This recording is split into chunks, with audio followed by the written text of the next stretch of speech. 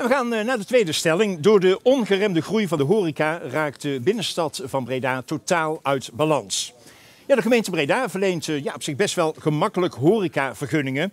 En daardoor raakt met name de binnenstad uit balans. Er moet veel harder aan worden getrokken om winkels, culturele zaken of ambachtelijke bedrijven in lege panden te krijgen. En die betere mix moet voorkomen dat er straks een gatenkaas ontstaat als bij economische tegenwind de horeca eventueel weer gaat omvallen. Raakt de binnenstad nu dus uit balans door die ongeremde groei van de horeca?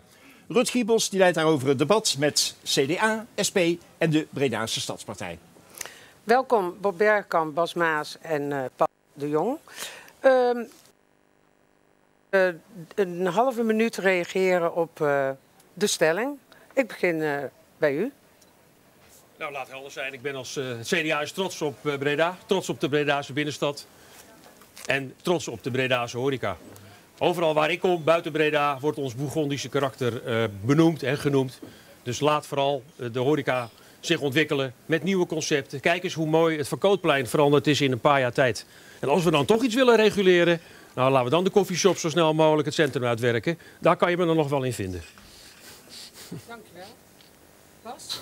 Ik denk niet zozeer dat, uh, dat de ongeremde groei van de horeca, ik denk dat die wel meevalt. Ik denk niet dat dat het probleem is. Ik denk dat we vooral moeten kijken, niet zozeer hoe vullen we die gaten op, maar waarom vallen die gaten er? En uh, ik denk dat we daar dat scherp moeten houden. Hoe komt het uh, dat die binnenstad het, het, het, zwaar heeft? En we moeten daarom denk ik voorkomen dat we concurrentie organiseren buiten de binnenstad door bijvoorbeeld steeds maar winkels toe te voegen aan de randen van de stad. En ook om te zorgen dat die kleine ondernemers dat die, uh, dat die het ook uh, vol kunnen houden. Dus dat we ook uh, paal en perk stellen aan het verruimen van de openingstijden. Ik denk dat we het daar met name over moeten hebben. Dank u wel, meneer de Jong. Ja, de nieuwe Bredaanse Stadspartij uh, vindt het belangrijk dat we het karakter van Breda dat we dat nog meer versterken. En uh, daarbij gaat het vooral ook om de kwaliteit en niet om de kwantiteit. En wat we zien, we zijn het dus ook eens met deze stelling, wat we zien is dat het gewoon te veel wordt.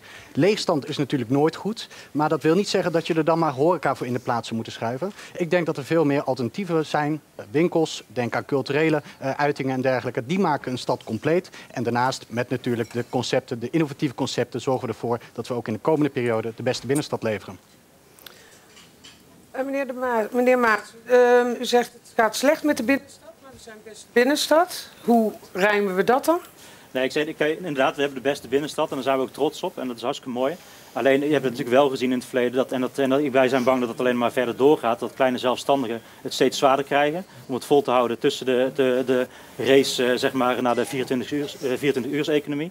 En wij denken, je moet ook zorgen bijvoorbeeld bij het verruimen van die winkeltijden. Daar waren wij ook uh, samen met het CDA een uh, vervent tegenstander van. Maar wij denken juist, uh, dat trekt een zware wissel op het privéleven van die kleine zelfstandigen. En daardoor verdwijnen die. En straks heb je alleen nog maar ketens die in elke stad treft. En dan vraag ik me af of wij het nog heel lang volhouden om die beste binnenstad te blijven. En ik vraag me ook af, bijvoorbeeld een stadspartij die wel voor het verruimen van die openingstijden is. hoe zij dat dan voor zich zien.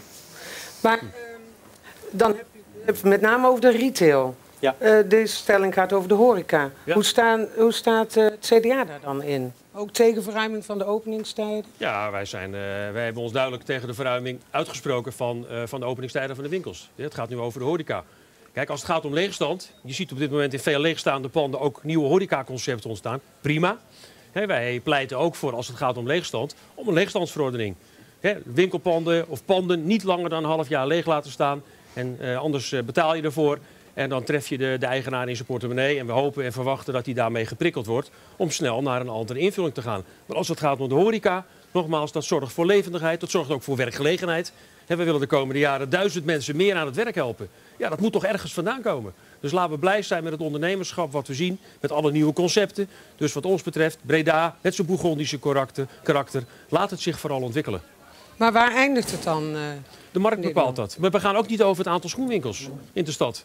Dus de markt, de klant, bepaalt wel of hij of zij ergens een, een, drankje wil drinken of ergens wat wil eten. En op het moment dat dat verandert, nou, dan komen er weer andere concepten. Daarom stimuleren wij ook zo het ondernemerschap. En met de SP delen wij ook het belang hè, van het feit snel herbezetten. Laten we trots zijn op onze kleine ondernemers, onze startende ondernemers met name. Laten we die ook faciliteren in de leegstaande panden. En dan zien we wel wat voor concept er wordt aangeboden. En de consument zal uiteindelijk bepalen of dat wordt afgenomen of niet. Wat uh, vindt de Bredaanse Stadspartij daarvan? Nou, als we naar die consument kijken, en dat moeten we doen in deze, dan moeten we ook kijken naar de ondernemers. Die als geen andere weten wat er speelt onder die consumenten. En als je vraagt nu aan de bestaande horeca-ondernemers of dat zij erop zitten te wachten of dat extra horecavoorzieningen komen, dan zullen ze daar uh, negatief op reageren. En over die negativiteit gesproken, ik hoor het CDA hier praten over een leegstandsverordening, het beboeten van leegstand.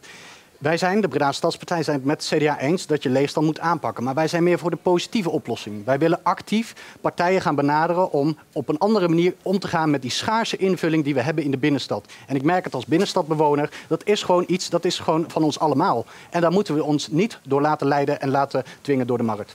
Wil er wel op reageren, ja. Rut, als het mag. Uh, kijk, want die leefstandsverordening, uh, die, uh, wij zijn ook een groot voorstander van, even als het CDA. En ik denk dat wij heel lang geprobeerd hebben om het op een positieve manier te doen. Maar je ziet bijvoorbeeld, we gaan even niet over de binnenstad, maar bijvoorbeeld het winkelcentrum Hexwiel in de Haagse Beemde. Je ziet wat daar positieve druk, dat, dat, dat geeft niet het gewenste effect. De, de, leefstand neemt daar alleen maar toe. Dus op een gegeven moment moet je wel degelijk die stok achter de deur hebben.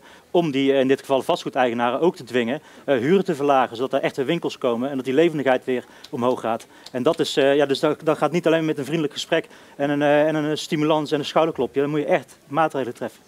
En dan, dan is het met name gericht op meer dwaalmilieu. Moet ik me dat voorstellen? Ik kan in de binnensteden kan ik me inderdaad voorstellen, bijvoorbeeld in de Annastraat, dat is natuurlijk een mooi voorbeeld hoe het ook kan. Uh, dat, is, uh, dat is prima. Dat is, dat is inderdaad zo'n mooi dwaalmilieu. Maar in een, uh, in een buitenstedelijke, zeg maar, buiten de binnenstad, echte winkelcentra en de wijken, daar zijn vaak, is er vaak één vastgoedeigenaar.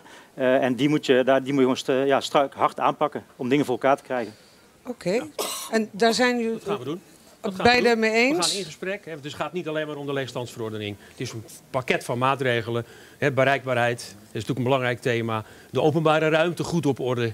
Hè, de, lo de loper uitleggen vanuit het gemeentebestuur met een ondernemersloket. Dat als je in deze stad iets wil als ondernemer, dat je snel en goed geholpen wordt. Dat helpt ons verder. En dat helpt ook die duizenden mensen verder die aan het werk moeten. Of je nou van de praktijkschool komt, of dat je al 55 jaar bent en al een aantal jaren aan het werk aan het zoeken bent.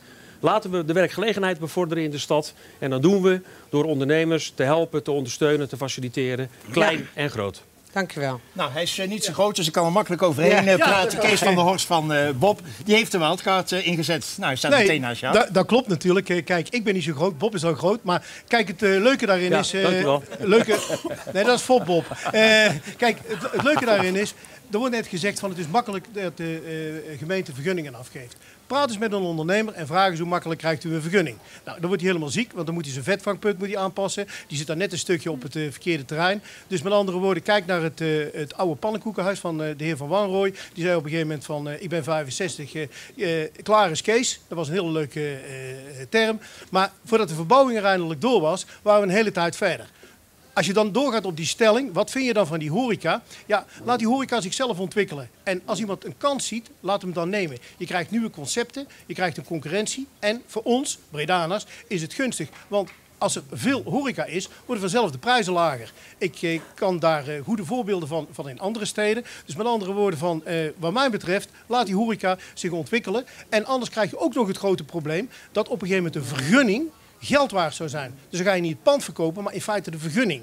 Dus dan drijft dat de kosten op. Dus met andere woorden van, uh, laat het los, laat het vrij, denk liberaal, denk lokaal. Dus wat uh, Bob betreft uh, wordt het bier een stuk goedkoper in Breda?